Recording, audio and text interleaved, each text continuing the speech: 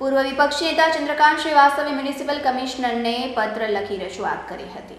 પૂર્વ વિપક્ષી નેતા ચંદ્રકાંત શ્રીવાસ્તવે જણાવ્યું છે કે મુખ્યમંત્રી અને પ્રધાનમંત્રી આવાસ યોજનામાં વ્યાપક પ્રમાણમાં ભ્રષ્ટાચાર ચાલે છે. કાયદા મુજબ પચાસ ટકા લોકો સહમત થાય ત્યારબાદ વસાહત તોડવી જોઈએ તેની જગ્યાએ ગેરરીતિ આચરી અધિકારીઓ ડિમોલેશનની કામગીરી કરે છે. વસાહત તોડ્યા બાદ લાભાર્થીઓને મળવાપાત્ર મકાનોની સંખ્યા ઘટી જાય છે અને તેમાંથી દસ ટકા આવાસો મળતિયાઓને આપી ભ્રષ્ટાચાર થતો હોય છે. ભ્રષ્ટાચારમાં સપડાયેલા કાર્યપાલક ઇજનેર પ્રમોદ વસાવાએ કોના કહેવાથી મકાનો એલર્ટ કર્યા તે દિશામાં તપાસ થવી મહત્વની છે.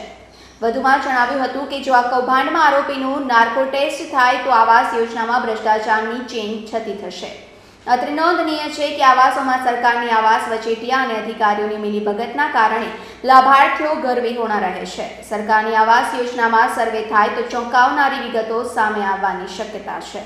હાલમાં બાલાજી સહકારનગર સંજયનગર સહિતની યોજનાઓમાં વિસ્થાપિતો સંદર્ભે રિટાયર્ડ જજ દ્વારા તપાસ થવી જોઈએ, જેથી હાલમાં અને અગાઉ થયેલા ભ્રષ્ટાચાર બાબતે લાભાર્થીઓને ન્યાય મળે.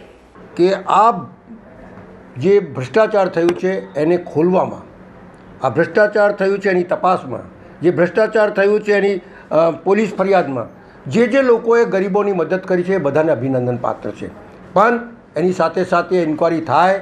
બીજા જે લાભાર્થીઓ છે, જે મકાનો ખોઈ બેઠા છે અને જે અહીંને ત્યાં રખડી રહ્યા છે, આ પચીસો માણસો, પચીસો, છવ્વીસો પ્રવાર સંજયનગરમાં રખડી રખડી રહ્યા છે, સહકારનગરમાં રખડી રહ્યા છે. એમ તમામ જુદી જુદી જે આવાસો યોજના છે, એમાં ઓછા ઓછા મકાનો આપ્યા છે, એ તમામની ઇન્કવાયરી થાય. અને જે જે બચારા ગરીબ પરિવાર રોડ પર રખડી રહ્યા છે, એમને મકાન મળે, એ સાચા ધ્યેય તરફ તમામ લોકો જાય અને ગરીબ પરિવારને ઘર મળે, એ અમારી માંગણી છે. અને એ રિટાયર્ડ વ્યક્તિ થાય, એટલે એના ઉપર કોઈ પ્રેશર ના આવે, કોઈ પ્રોબ્લેમ ના આવે અને સાચી દિશામાં ઇન્કવાયરી થાય અને લોકોને ઘર મળે એ પ્રમાણે આ ભ્રષ્ટાચારને ઉજાગર કરે એવી અમારી માંગ સમાચારોના સતત અપડેટ મેળવવા માટે લોકમત ન્યૂઝને યુટ્યુબ ઉપર સબસ્ક્રાઇબ કરો. બેલ આઇકોન દબાવો અને અમારી સાથે જોડાયેલ રહો.